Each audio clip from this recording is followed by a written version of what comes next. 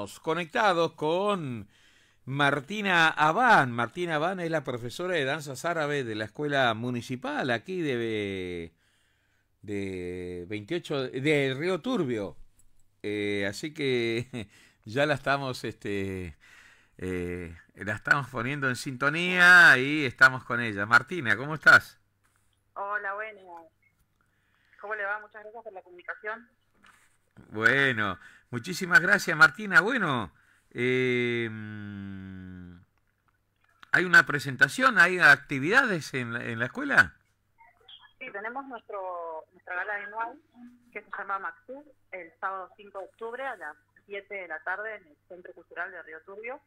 Así que estamos a full con la organización de eso y bueno, las chicas súper ansiosas, eh, ensayando, eh, viendo los detalles del vestuario pero bueno, siempre es mucho trabajo, pero sale todo hermoso, gracias a Dios. Bueno, eh, comentanos un poco, ¿de qué trata la, la Escuela Municipal de Danzas Árabes Horus?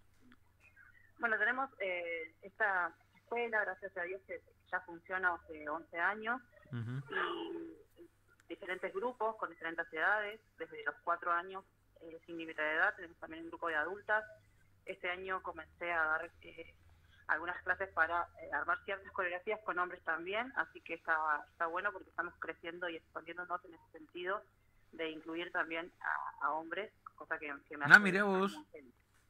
Sí, sí, sí. Este, bueno, justamente en la gala anual que vamos a realizar el sábado, vamos a presentar eh, este ballet de hombres que tenemos, son cuatro chicos, eh, que son bailarines de folclore argentino, y que se, sumaron a esta propuesta que les gustó y que están ensayando a full, así que estamos también muy felices con eso, eh, de poder también mostrar algo diferente y algo que, por ahí se tiene un poco de prejuicio en cuanto a la danza masculina árabe. Así que la idea también es mostrar eso y quitar un poco el prejuicio y, y que realmente vean que es una danza hermosa, que todos pueden disfrutar. Así que nada, muy expectantes con eso también. Bueno, ¿y esto cuándo se va a hacer entonces? La semana, el 5, ah, la semana que viene. El 5, eh, el, sábado. El sábado, que viene. Sí, sí, este sábado es 5 en el Centro Cultural, a las 7 estamos con la venta de entradas anticipadas, van a estar mil pesos económicas y si no en puerta 1.500 pesos, también es bastante económico. eh, la ayuda de la económica que nos van a dar eh, justamente al comprar la entrada eh, es para poder eh, solventar gastos del taller. Ustedes saben que la danza árabe es muy costosa, los elementos son carísimos. Claro. No se consiguen en el Río Turbio, hay que pedirlos en Buenos Aires, también vienen en, otras ciudades más grandes y bueno, entonces tiene un, todo un gasto de envío, pero de todas maneras son muy costosos y la idea siempre es que las alumnas no, no gasten tanto dinero, ya que los trajes ya son caros, entonces enfocarnos siempre en adquirir elementos para que las chicas puedan todas tener sus cosas y, practicar, ¿no? Claro, claro. Em, claro, porque en realidad eh, los vestidos que, que, se usan y todo eso, aquí no hay, no, no se consigue eh, esa, esa clase de, de, de, indumentaria aquí, ¿no? En, los mandamos a hacer. Hay diferentes maneras, ¿no? A veces trabajamos con modistas de otras localidades o a veces con las, con las de acá, pero el trabajo de bordado sí es como muy particular. Por ahí la costura sí se hace acá en Turbio, pero el bordado es, es difícil de que, de que alguien lo pueda hacer o de que sea barato. El bordado es lo más costoso del traje. La piedrería, todo lo que lleva eso es muy, muy caro. Claro. Vos fíjate que me decías de, eh, de que han incorporado a, eh, a, la, eh, a, la danza a gente, bueno, a, hombres, a gente masculina. Generalmente uno se hace la, uno se hace la, la uno mm, por allí siempre piensa que la danza árabe es generalmente femenina, ¿no? Claro, sí, justamente también es la manera que encontramos de poder sacar ese prejuicio. Es una danza hermosa, hay muchas danzas masculinas que realmente son muy muy masculinas. Eh, por supuesto que uno tiene la posibilidad de elegir si bailar un estilo femenino o masculino, eso es independiente. ¿no? Mira vos. No hay problema. Pero eh, en esta oportunidad vamos a presentar una danza masculina que se llama Taktib, que tiene que ver con lucha, con eh, su parte histórica, digamos, tiene que ver con una con su origen en, como si fuera un arte marcial, Ajá. eh, Ah, pero con, de los países árabes, eh, de lucha, que utilizaban en- a modo de entrenamiento y que después se fue evolucionando como danza y eh, fue evolucionando cada vez más hasta que luego también se puede bailar con mujeres, varones y mujeres, que es lo que vamos a hacer nosotros en el show. Nos Claro. van a mostrar como una evolución de esta danza, eh, como te digo, se llama táctil, desde su origen, desde que se creó como una lucha, hasta eh, el final que ya se baila con, con mujeres y en pareja. Ajá. Y bueno, tiene todos movimientos como de lucha, ¿no? De ataque, Claro. de golpes, se baila con unas varas, como si fueran una especie de palos. Eh, así que es muy linda, muy interesante. Los chicos, como son bailarines de folclore árabe, eh, perdón, de folclore argentino, ya tienen todo ese, ese carácter digamos, Claro. que se necesita, eh, la pisada fuerte, eh, bueno, son unos genios de ellos, gracias a Dios, y aparte son, al ser bailarines también tienen esa, esa posibilidad de, de- de no sentirse avergonzados, de Ujú. tener cancha, de ponerle toda la actitud, así que yo estoy como muy ilusionada con este, con ese cuadro, que va a ser muy lindo, les mando un saludo de paso a, a Dani, a Damián, a Marcelo y a Agus, que son los, los bailarines que tenemos ahora.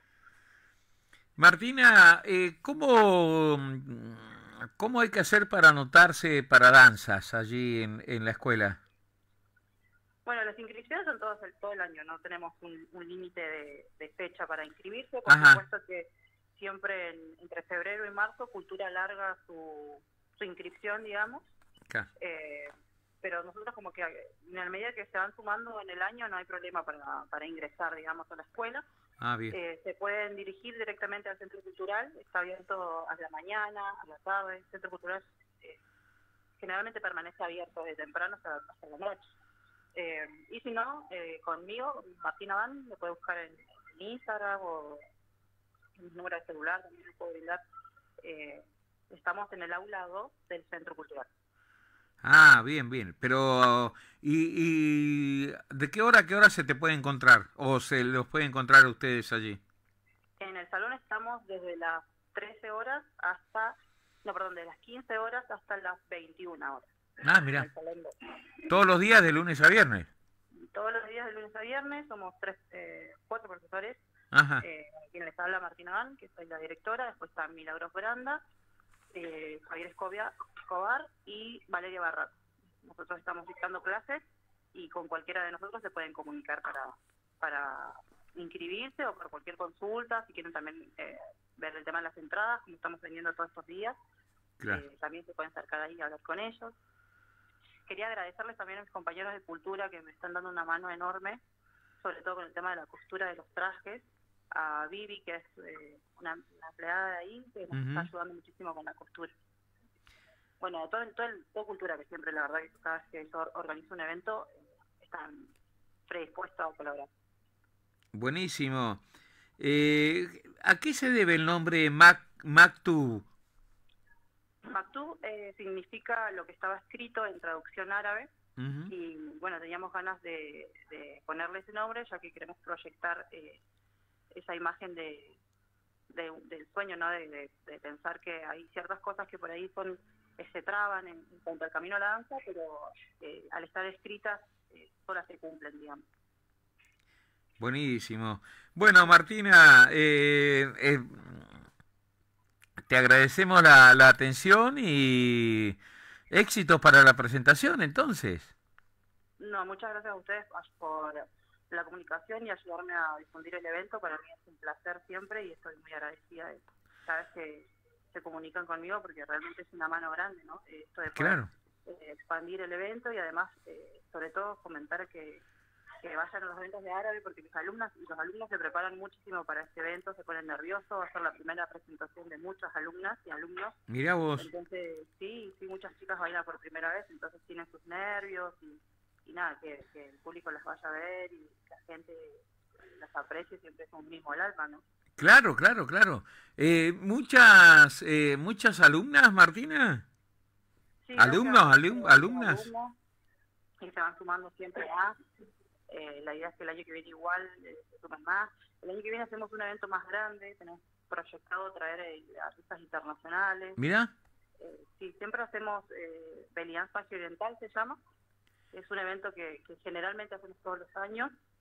Este año no lo pudimos hacer por cuestiones económicas, pero bueno, la idea es justamente recaudar fondos y retomarlo el año que viene. En este evento ya traemos artistas internacionales de la danza árabe, que pueden ser, a veces traemos músicos o cantantes o bailarines conocidos, y eh, vienen delegaciones de distintas partes de la provincia, de Chile también han venido. Es un evento muy grande y muy bonito que, que requiere mucho esfuerzo, pero que realmente es muy bueno. Martina, abrazo grande, ¿eh? Por favor, un placer. Que andes lindo. Saluda a tu gente. Muchas gracias. Abrazo. Martina Van es la directora, profesora y directora de